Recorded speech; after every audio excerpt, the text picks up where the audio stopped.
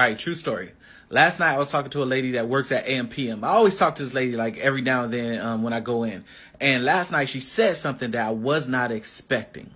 She said that her son, who is about 11 years old, has a little girl living inside of him.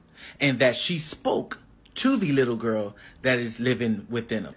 She said that she believes her son is actually a daughter that is in the wrong body. So I said to her, I said, respectfully, no disrespect at all, but can I ask you a question? She said, yeah. I said, hey, if your son said that he believes he's a bird and he went to the top of a five story building to jump off because he believes he could fly, what would you do?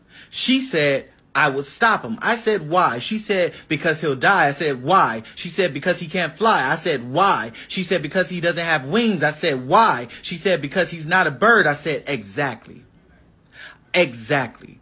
I said, if you don't have the equipment necessary to qualify what you feel inside, then it's just a feeling and it's not a fact. I told her what you feel and what you are are two different things, whether you're a kid or an adult. Don't let that go over your head.